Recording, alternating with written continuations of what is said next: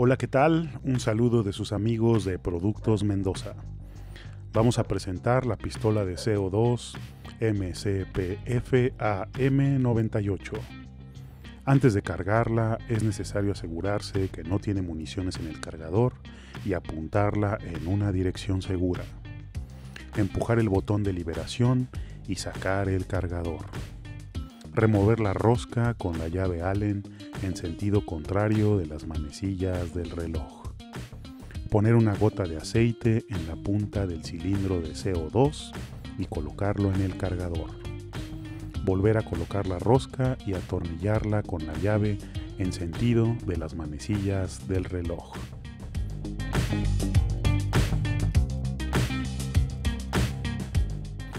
Para cargar las municiones, tirar hacia abajo la lengüeta en el cargador y bloquearla en la base.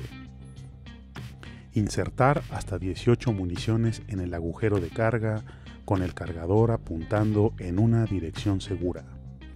Soltar la lengüeta e insertar el cargador en la pistola.